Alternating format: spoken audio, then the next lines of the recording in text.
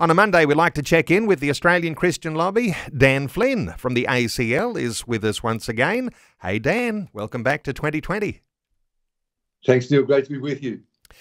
Hey Dan, let's start with uh, it was going to, a couple of a uh, couple of issues overseas this morning, and a couple of issues here on our shores in Australia. Let's start with a development in the United States, and there's been a couple of rulings from the U.S. Supreme Court. One that overturns what's called affirmative action in university recruitment policies. As uh, complex as that sounds, it all has to do with universities and people's placement and all sorts of things with quotas and such things. What's the development that's happened in the US and how that might relate to us? Well, what's happened is very significant, Neil. This became available to Liz on a, a ruling on uh, Friday uh, that is on our Twitter feed uh, came up that um, uh, the idea that uh, if you were um, a black, Native American, uh, Hispanic, that you would be able to get into Harvard over and above somebody who wasn't of those races.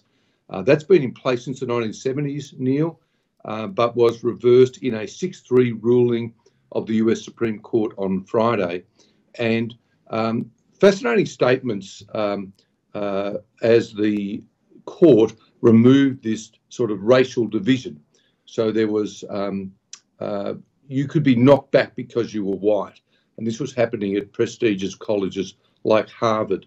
Um, uh, a black uh, US Supreme Court judge, Judge Clarence Thomas, um, uh, made this point that racial categories are little more than stereotypes, suggesting that immutable characteristics somehow conclusively determine a person's ideology, beliefs, and abilities. And he said, Neil, that he holds out this enduring hope that the country will live up to its principles that all men are created equal, are equal citizens, and must be treated equally before the law. So, with that, um, those words, Neil, the um, uh, this system of um, affirmative action was abolished. Uh, Neil, the it has implications, I think, potentially for the way we're looking at going ahead in Australia with the voice, uh, which is um, uh, that will be an institution whereby you will have to be or identify as Aboriginal to be a part of, and it is a significant chamber uh, who will um, wield great influence, um, unelected influence uh, in our politics. And I think it's just worth reflecting on, Neil, um, that the US Supreme Court has just said it is wrong to divide on race, uh, and we are poised to say that it's right to divide on race in relation to the voice. I'm not sure of your response to that, Neil, but it's a concern. You know, it is a concern, and uh, it reminds me just in the weeks gone by, there's been that controversy that's arisen in New Zealand, uh, where there were going to be some, based on race, who might have even had preference uh, in admission to a hospital. Uh, so you've got this growing sentiment now and an understanding coming out of the US around universities that when you've got people who are of one race and maybe having some preference over another race, that somehow or other you've got to have an equalising factor. And so this comes back to the American Constitution in what's happened there, Dan, because the American Constitution actually has an equality. Uh, not based on skin colour, but that already is something that's in place. So they're not likely to have the sort of voice controversy that we're having in the discussion about this change to our constitution. That's absolutely right, Neil. The voice would not happen in the US because of that um, equality of the races. It's something to reflect upon. Uh, Christians have various views on the voice, uh, but the division on race is a point that uh, is concerning to us as an organisation. And just to zero in here and make sure we're reflecting on this in a right way here, Dan, because uh, what you're saying is here in Australia, we also have a constitution that says uh, there is no preference given to anyone because of skin colour. But what we might face in the voice, if there is a voice, uh, that there might be preferential, preferential treatment given to skin colour if there is a yes vote that goes ahead. Now, it is controversial. People are thinking about the issues and wanting not to be ignorant, wanting to understand what the potential for the outcomes might be, but that is one of those things that you've got to pay attention to. Is there will be a change if there is a yes vote. That's correct, Neil. That's correct. And, you know, as people uh, weigh the competing considerations, um, you know, I would just simply put that in the mix uh, that you have um, uh, a group that's a, uh, a, a, high level advisory chamber of the Parliament, um, not quite of the Parliament, but certainly recognised in the Constitution, um, and uh, uh, race based. Um, that's got to raise a few questions. Now, there's been a couple of very interesting and some will say controversial decisions that have come out of the US, the US Supreme Court. Uh, another one is around a, a website maker. What's the detail here in your understanding, Dan? Well, there's a, a wedding website designer. Her name is Lorie Smith, and uh, she appealed a Colorado anti-discrimination law um, that um, where she was saying this law would make her create websites for same-sex couples, and thereby compelling her to endorse those um, marriages. And uh, as a Christian, she said that violated her First Amendment right uh, to free speech. In other words, she didn't want to be compelled to say something. Um, again, in a 6 3 ruling, uh, representing, I think, the uh, conservative, um, uh, I suppose, domination of that court, uh, the court found that, uh, yes, Lorie Smith does have a right not to create a website for a same sex um, wedding. She has a right um, not to be forced to make some sort of um, design um, uh, for a message about which she disagrees. So that's a wonderful, wonderful development, Neil. And you know we're seeing a little bit of light uh, there in terms of freedom uh, for religious people who are in business. And isn't it interesting when you're a religious person in business, a Christian person, you're applying your ethics, and there'll be division here because, uh, and it may be that there's no right and wrong because one Christian will say, well, if someone's prepared to pay money for my service, doesn't matter what mm. sexuality they have, doesn't matter what skin color, mm. nothing really matters. Mm. Uh, I'm providing a service and they're paying money and I'm going to deliver uh, the business as I deliver. On the other hand, you've got someone who says, with my conscience, I won't be exposing my staff or I won't be myself uh, putting my own business into something that compromises my religious belief. And so you've got both sides may actually be legitimate. The interesting connection here, I'm thinking, Dan, I'll get your thoughts. If you're taking an artistic approach, as you do when you're mm. doing graphic design, mm. that if you are compromised in your artistic approach because of your religious beliefs, that's also even mm. connected to with what might be a political message in there. So all of these things are connected. Uh, any thoughts here about, you know, the, the fact that you've got to have some level of freedom of conscience, freedom of speech? Well, well it's very important, Neil, and uh, particularly something that's lending creativity. Uh, a wedding photographer, um, uh, a wedding cake maker, uh, now a website designer. Uh, you are all in as an artist, creating something beautiful to celebrate an event. And if it's something that you that is against your conscience, you shouldn't have to do it. And um, yeah, like we actually don't have those freedoms in Australia. Now, I draw a distinction between someone driving a taxi who said, I'm not going to pick up a same sex couple. That's different. Um, and um, we have to be astute to draw the distinction between um, 98% of services provided and something that's artistic that relates to our freedom of speech. Um, and that was what was at stake here. Uh, so, as you say, uh, we don't have these freedoms in Australia to say no. Do you know how things stand right now, Dan? How do you reflect on that? Uh, well, yeah, yeah. Well, the the bottom line is at the moment that you don't have a right to discriminate against a, a protected attribute or a protected class. That's that's the way things stand at the moment in Australia, and it's probably going to get worse, Neil, because of some legislation that's afoot in New South Wales.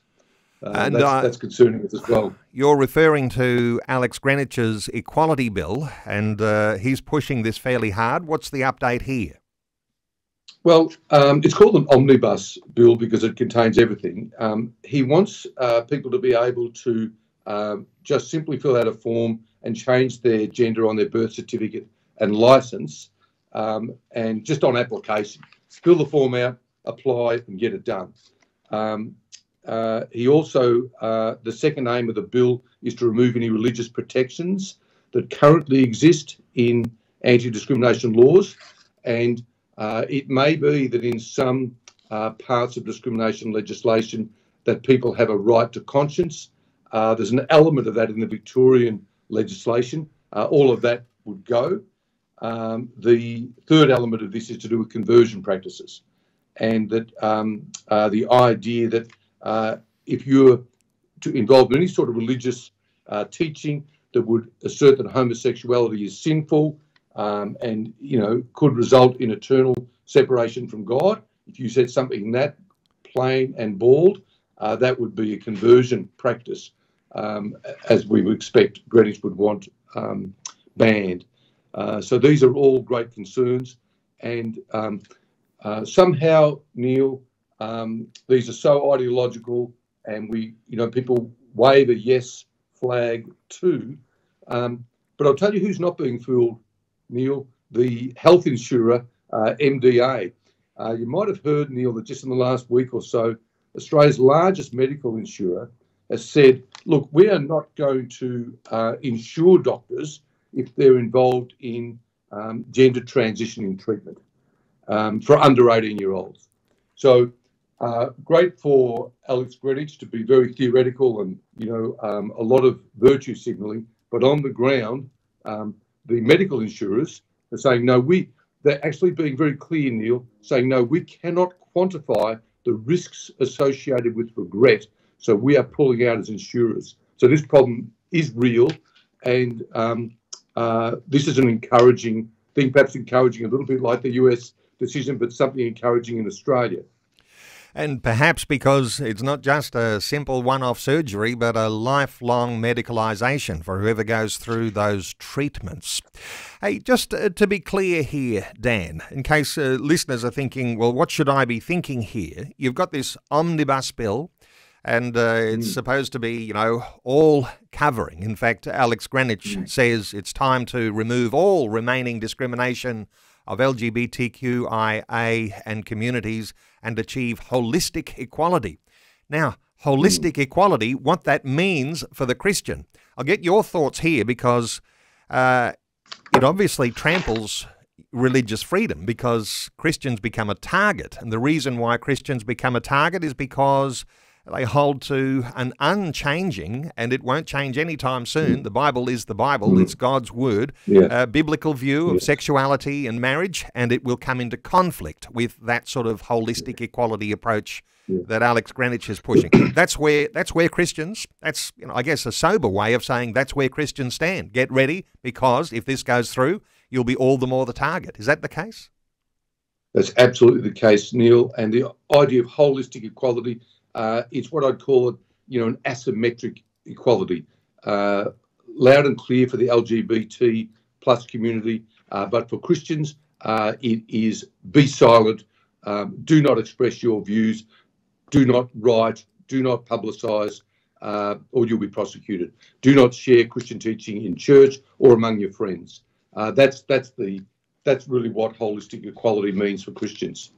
And I guess the encroachment, not only on personal beliefs, but then into what your church is teaching or preaching, uh, you've got here an opportunity for state to begin to dominate Christian beliefs, to really trample over freedom of conscience, freedom of religion, and even potential for uh, overtaking uh, some authoritarian way of what your church teaches and preaches. In other words, trying to trying to curtail what the Bible teaches as true. It's true, absolutely true, Neil. All right, let's let's check up on one of those significant things we've been following over previous weeks, and that is the Calvary Hospital takeover. Uh, you've got a special webinar happening with ACL this coming Thursday night, and uh, you'll be talking about freedom of religion. Uh, do you know what's happening in any sort of update sense about what's happening with Calvary Hospital, Dan? Well, I, well, I do, Neil. Um, having been uh, tipped off by uh, a great Christian journalist, Neil Johnson, I was able just a short time ago to see footage of the cross from Calvary, um, you know, being shipped out on a truck uh, past Calvary Hospital, a big, beautiful blue cross. So while the Christians were at church yesterday, including myself in Canberra, um, uh, the trucks and the cranes, as we forecast, as we discussed a couple of weeks ago, Neil, were busy uh, removing the cross and the uh, religious imagery from that hospital, and that's that's an appalling thing to see. All right, there's a there's a tip off uh, in insofar as me saying uh, I think the cross is coming down today, uh, but I said to Dan just before we came on air, uh, Dan, it seems to be that it's Calvary Hospital that has done the removal of the cross, and my suspicion is to preserve the cross, maybe for a relocation of it uh, into some other significant place, uh, rather than the ACT government actually doing the forced removal, which might have meant that the cross could have been destroyed. So, if you've seen the video, Dan, what's the, what does the video show? Is the is the uh, cross intact? Look, oh, the cross is intact. It's on the back of a truck. But here's the thing, Neil. I don't accept for a moment that you know this is Calvary removing the cross this is basically the government removing the cross. Yes. Because the government's saying we're taking over. We don't want any religious imagery uh, come tomorrow, July 3. So get rid of it. So, you know, yeah, Calvary's Calvary's taken the cross down, but that's a technicality. The reality is that the government has basically demanded the removal of this cross, and um, you know it's a it's a very sad thing. This is a, a this is a hostile takeover, Neil, um, and there's no doubt about it. And uh, Neil, you mentioned a webinar on Thursday night. Um, one of the people who has been very central in this debate uh, has been the opposition leader here in the ACT, Jeremy Hanson. Um, Jeremy Hanson uh, will join our webinar on Thursday night, and that webinar will uh, address submissions that can be made to the Senate about this hostile takeover. We can't stop the takeover, but we can have an inquiry, and there is one underway in the Senate as to what happened uh, so that this doesn't happen to other hospitals, Christian schools uh, in other states uh, that might be at risk. So we're ventilating these issues uh, on Thursday night. And if people join us, and they can through our website, uh, they'll be able to actually write their submission that night. We'll equip them and train them in what to say. Almost out of time, Dan, uh, but we've been speculating, and uh, you've been saying the ACT government must have some sort of a grand plan in place because they're taking over Calvary Hospital, and the reason being quite obvious because Calvary Hospital has a pro life stance around issues like abortion and uh, end of life euthanasia. Um, development two on the weekend around the ACT government. What's that one? Well, surprise, surprise. Uh, they're all very excited about euthanasia. They've launched uh, a big speech and a big report in Parliament uh, last week, and it's all about providing euthanasia to anyone um, uh, as young as 14. Uh, you know, uh, people who they think the government thinks, um, you know, is a mature minor um, who has, you know, some um, eligible eligible illness uh, can uh, apply. So, um, yeah, this is literally days before the cross comes down, Neil. We, we forecast this some weeks ago. This is what the government is excited about, and um, it's onwards and upwards for this government, which um, operates a little bit like, like a dictatorship because uh, they almost can't be removed, Neil, because um, it's a Labor town, largely um, occupied by public servants uh, who depend on a Labor government.